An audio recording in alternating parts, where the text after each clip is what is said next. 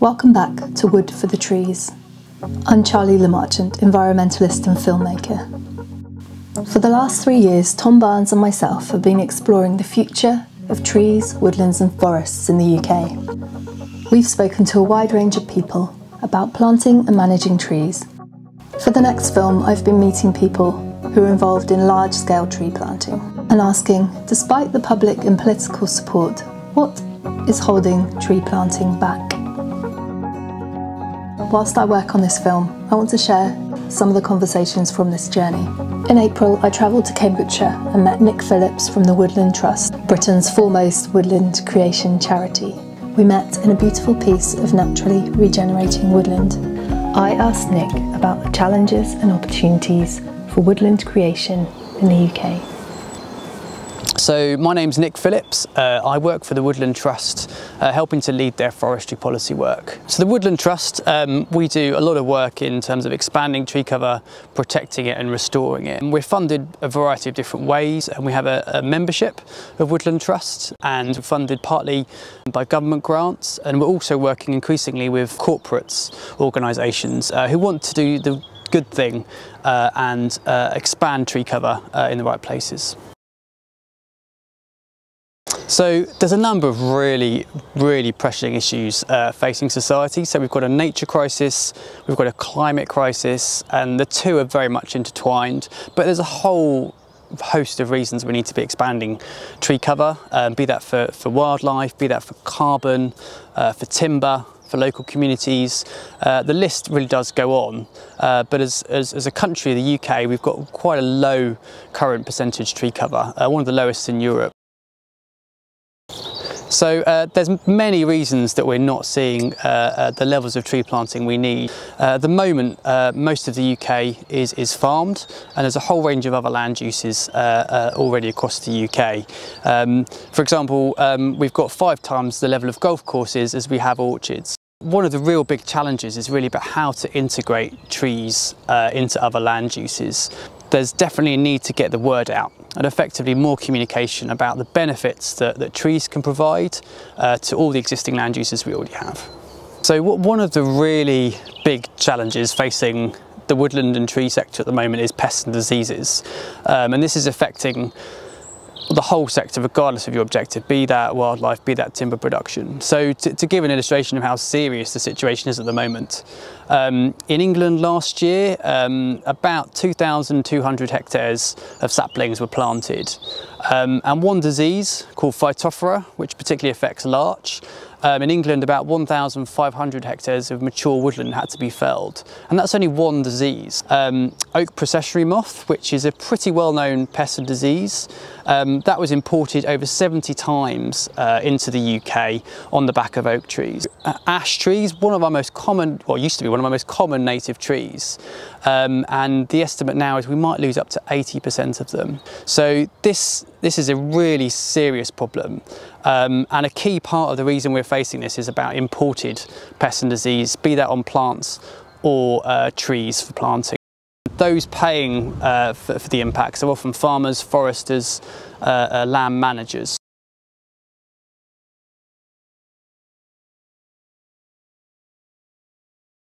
So at the moment we've got something called the England Woodland Creation Offer uh, for England and it's, uh, it's one of the best grants uh, that's available for woodland creation uh, certainly in the last, last decade and it can provide grant funding for uh, anything from very large scale productive plantations uh, to nature rich native woodlands. One of the really exciting things about the England Woodland Creation Offer is it can support natural colonisation which is what you see here today which is about allowing woods and trees to self-seed and spread themselves. And the evidence shows that's one of the best tools we have to help them adapt to climate change.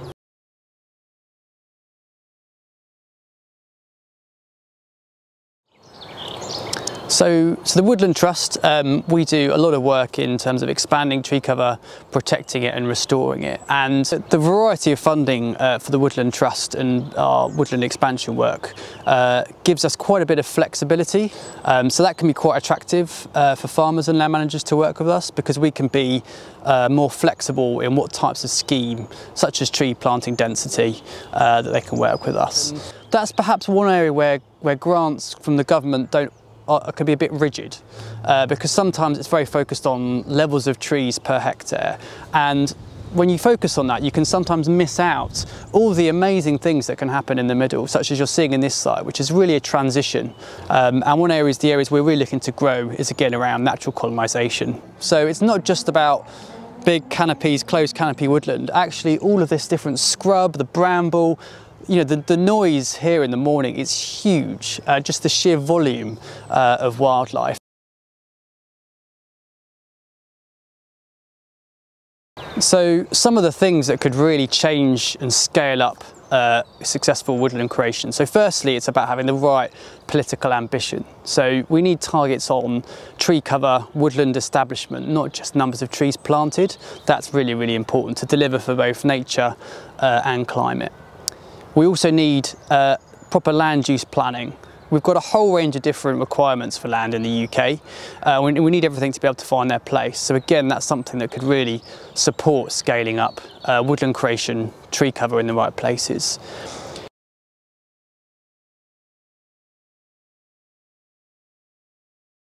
So one of the really, you know, exciting opportunities to deal with what is currently a really big challenge is around investment, for the government investment in UK tree supply. And that not only could create green jobs, including potential diversification for farmers, um, but also massively could reduce the risk of importing pests and disease. So it's really important that government gives tree nurseries and the sector confidence to really scale up uh, UK tree supply. So we're uh, in an area of set-aside land, uh, which used to be farmland not that long ago, only a few decades ago.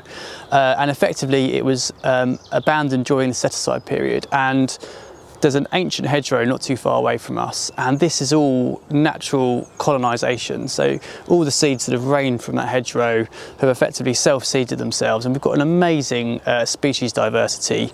And it's turning very rapidly into a pretty amazing uh, habitat. And we've got Uh, one of the rarest breeding birds, turtle dove, is actually now nesting here. So, so this, this site is, is, is pretty amazing because you've got a quite a large urban area, about 100 metres that way. So it's really, really welcome for the local community, particularly during COVID times. So it's, it's just an amazing example of how a site can provide huge value to people and to nature.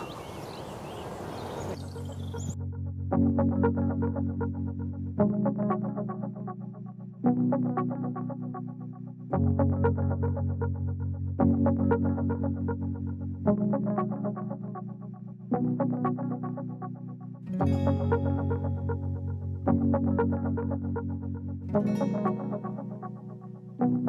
you.